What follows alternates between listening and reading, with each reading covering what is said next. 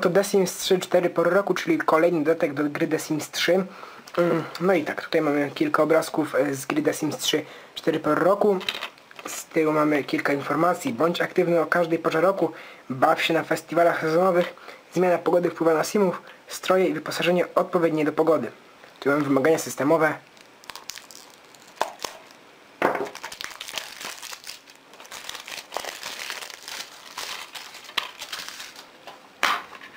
Ok, tutaj mamy mm, ulotkę do gry The Sims 3 4 pory roku.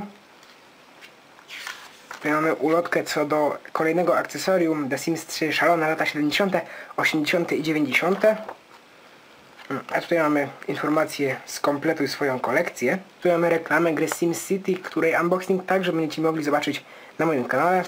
A tu mamy ulotkę, która zachęca nas do zarejestrowania swojego produktu społeczności The Sims 3. Z drugiej strony mamy płytkę z grą The Sims 3 Seasons, bądź 4 pory roku.